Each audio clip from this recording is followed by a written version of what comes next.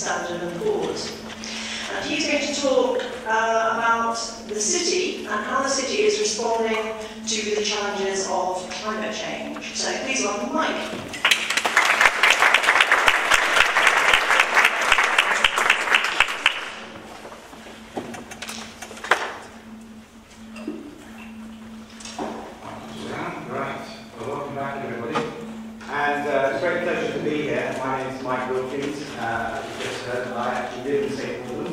very involved in Sustainable St Albans Week. Uh, maybe it was my wife Caroline who strapped me into it. Um, but apart from that, uh, I'm actually very involved in sustainable matters anyway. Uh, I work for a company called S&P Global. Uh, those of you who haven't heard of S&P Global, it's a company that's mainly famous for doing credit ratings.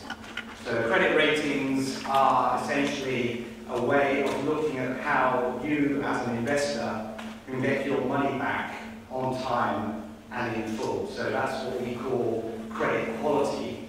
Uh, and what we mainly do at S&P Global Ratings, which is where I work, is look at very large amounts of investments. And we're talking millions, if not billions, of pounds that are invested in all sorts of different companies, uh, all sorts of different governments.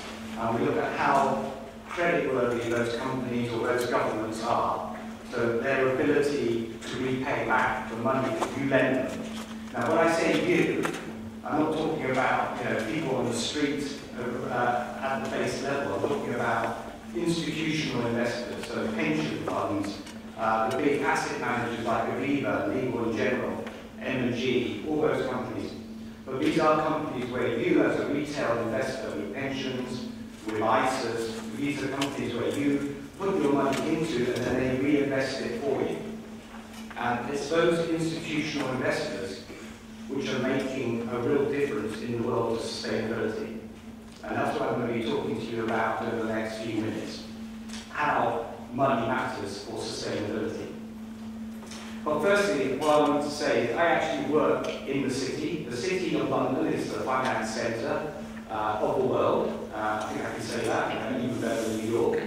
And I work in Canary Wharf. So when I saw that picture from Jess at the beginning of the plastic fishing Canary Wharf, it made me smile because that's exactly what my team are going to be doing very soon, going out plastic fishing in front of our office on the Thames in Canary Wharf. So it's very inspirational.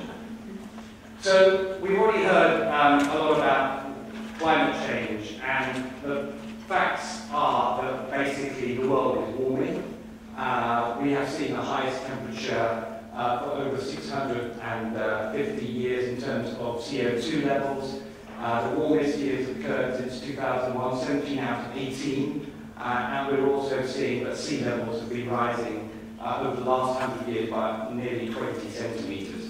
All this means that we are living in a world of dramatic change in terms of the effects that the climate is having on the population, on the urban environment, and on basically on the world in general.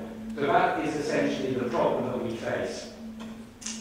The other problem that we face is that climate change not only has a negative impact, but to remedy it actually costs a lot of money.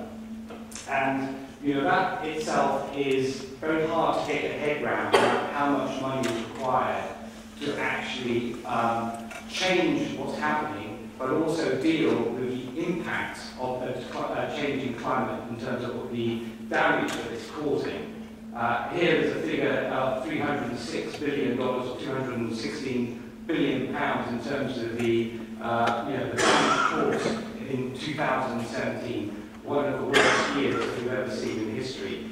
And the saddest thing about this is that it's actually the poorest countries of the world, the developing countries of the world, that experience the most impact from climatic change.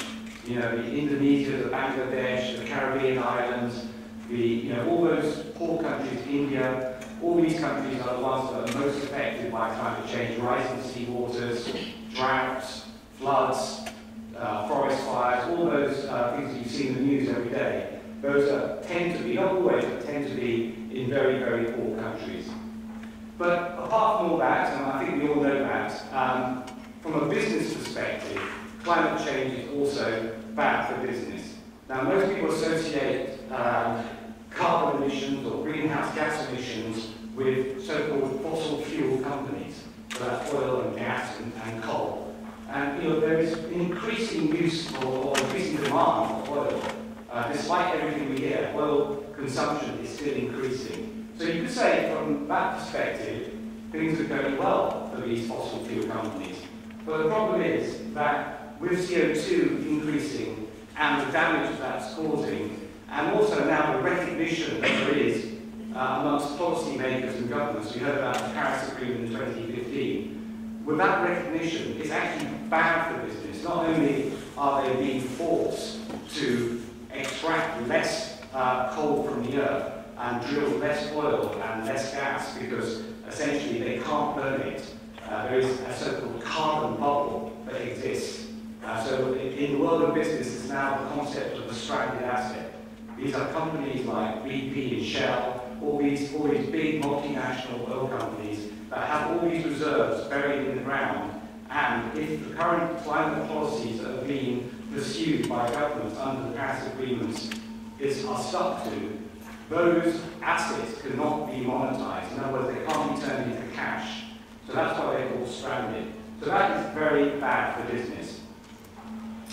So this has been uh, very much related to the drive to decarbonize the economy. So the politics is that we need to mitigate the causes and adapt to the effects of climate change. So mitigating essentially means trying to reduce greenhouse gas emissions, of which CO2 is the most uh, prevalent.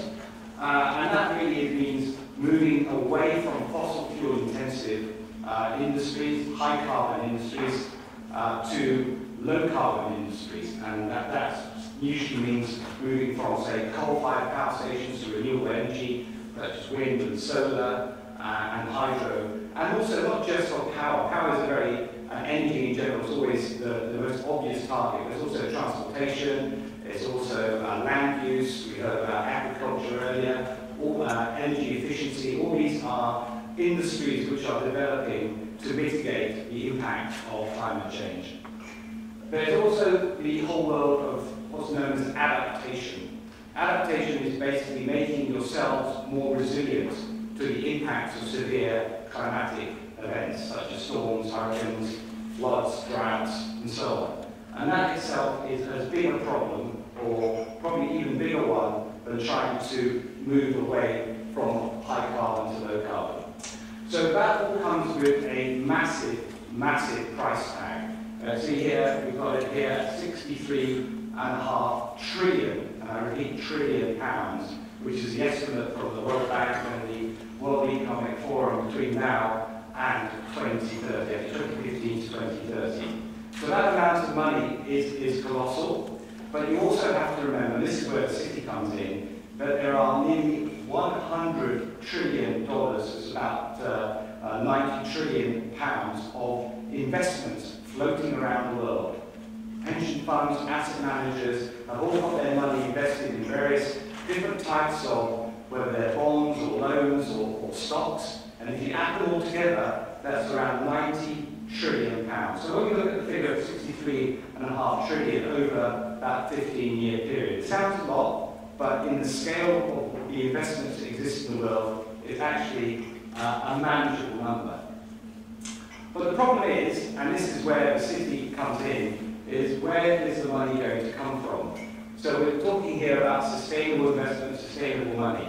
So green finance is something which is uh, a recent phenomenon which has developed in the City of London and other financial centres around the world. That's basically trying to create the financial investments, the stocks, the shares, the bonds, the loans, where people put their money in, the big institutional investors which I mentioned earlier, where they put their money in, that is all turning green.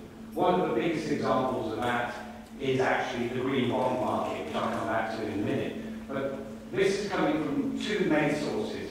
The public sector, through government money, and the private sector, which is basically companies and investors, private investors, individuals and institutions. So it's actually the private sector which uh, contributing the most and will mainly be the biggest contributor going forward. If we take renewables, which is you know, wind, hydro, solar, 186 billion pounds was invested in 2016 in renewable energy, just uh, you know, just in that sector globally, and 90% of that is coming from private sources. So that's why sustainable investment in green finance is so important because it makes up the bulk of this sustainable finance drive. And importantly, the city, with a capital C, is going green. And I mentioned that we are looking at private investors, we're providing the bulk of the money, and we're seeing new sectors develop in the green finance market, uh, which is where I work in. That's what my job is, as head of sustainable finance uh, S&P Global Ratings. We are seeing things like green bonds, which are basically uh, big amounts of money which are lent to companies and governments, that money then being allocated to sustainable investments. That could be green power through uh, renewable energy, it could be energy efficiency, uh, electric vehicles for low carbon transport, or it could be in the world of water, uh, better water usage for big projects.